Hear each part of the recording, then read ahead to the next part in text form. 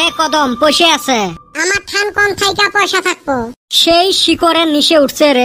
ভাই কইসং খোয়াও না। কইলাম আমার ঠান পয়সা নাই। তাহলে তোর মুখত কি ফির? শিখর খাইছি। তোর ঠাই বলে পয়সা নাই কুতি ফির শিখর পালো। কি আর কমুরে বাই আমারও ভাত খাওয়ার পর হেই রুম শিখরে নিচে উঠছিল। কিন্তু পকেটে আসিল পাঁচ টেহা। এখন কিবা কইরা শিখর খাই। তার নিগা দোকানের এনে আইসা খাড়া হইয়া রইছিলাম। দোকানের বগলত খাড়া হলে পাঁচটা হাত শিকর দেয়। ওই হালি আমি কি তাই কইছি? তাহলে যে নেলসের মতো খাড়া হয়ে আছিস। এবি কি খাড়া হইয়া রইছিলাম? যদি আমার নাগাল কেউ শিকর খাইবার আইসে? ও কাইবার শিকর খাইবার আসলে অর্থাই ভিক্ষে নিলু হয়। ওই হালি তুই কিন্তু বেশি কথা কস। অত কথা বাদ দে তোর মুখত শিকর চরিল কেমনে? ওইটাই তো কইবার নইছি। তাড়াতাড়ি কত তোর ঘটনা শুনং। অল্প আগে এক সেরা আইছিল শিকর খাইবার। ও কইলাম ভাই তুমি তো শিকর খাইবাই। আমি পাঁচটি হাত দেই দুইজনে মিলা খাই। কেদাটাও আবার মাইনা নিল। তাই এক প্যাকেট শিকর কিনা দুইজনে ভাগ কইরা খাইলাম। বা তোর ব্যবসা দেহং ভালায় তুই শিখরও ভাইগেরিত কিনি খাইস। বুদ্ধি থাকান লাগবো। হয় রে তোর দেহং সেই বুদ্ধি। এই জন্য দোকানের বগলত আসি নেলসের মতো করে খারাপ হয়ে থাকিস। কিসের নেলস হ্যাঁ? পয়সা দিয়ে খাইছি। কত পয়সা দিয়ে খাইস মুই মনে হয় জানং না। কি জানস তুই হ্যাঁ? কি জানস?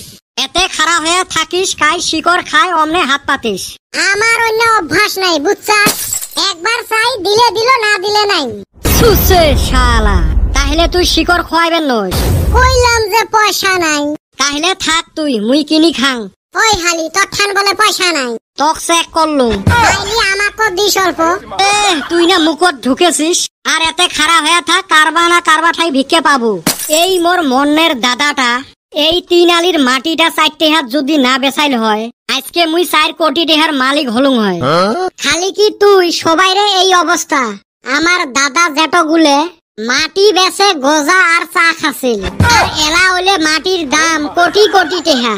মাটি গুলে দেখলে ডুহরি কান্দন বেড়ায়। মোর দাদা আরও মাটি বেচে বেচে মাছ মাংস আর দই খাছিল এই মনের দাদা গুলের জন্য আমরা এলা বিপদত। এলা আরও ওলে মাটি কেনার দম আছে। আজকে আমার পকেটত শিকড় খাইবার পয়সা নাই। খালি কি শিখর চা খাইবারে পয়সা নাই। চার দোকানের চাচা কোন বেলাবান গুড়ি তুলি দেয়। হয় রে শিখর একটা খাইবার কি মন গেছে? মনে হয় শিখর কোম্পানির যদি একটা চাকরি পালং হয়। খালি শিখরে খায়া থাকলুং হয়। এ কদম আলীর কেনা খবর নাই। উই এলা নতুন ব্যবসা আরম্ভ করছে জানেন না? নতুন ব্যবসা? কি ব্যবসা? ওই তিন আলির শিখরের দোকানটার বগলত সারাদিন খাড়া হয়ে থাকে। এতে ফির কি ব্যবসা? মানুষ শিখর খাইবার আসলে ওমার ঠাই অল্প হাত পাতে।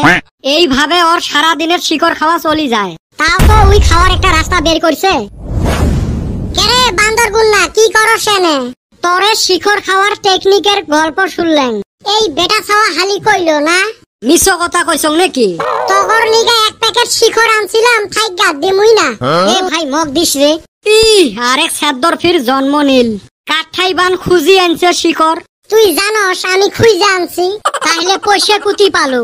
সারাদিন দোকানের অনেক খারাপ হইয়া কিন্তু আজকাল শিকড় খাওয়ার বাক পাই নাই। লাস্টে দোকানিয়ে আমার উপর দয়া ময়া কইরা এক প্যাকেট শিখর মাগনাই দিছে। বাহ ব্যবসা দেহং ভালে তোর। যাই হোক তা মিলো শিকড়টা খাই। আরও দিমু তগর শিখর গেলাম গা হু গেলাম গা। এ ভাই র মগ অল্প দিয়ে যা। নিষে খরে গেছে। দেখছেন এহ সুসে নিষেধ পরি কদমের পাশ ধরিল। তাও ভিক্ষে করা শিখরের জন্য। শিখর মানুষ খায় নাকি? তোমরা গুলে খান না রে শিখর খাইলে সেই ক্ষতি হয়। ইস, নিশে তো মরক হরে গেছে। এক প্যাকেট শিখর পকেটত রাখছ এই সুসে গুলের জ্বালায় বানাইবেরও বাং নাই খাইবেরও পাং নাই। যাও ভালে হয়েছে এহলাই এহলাই খাই মেলা।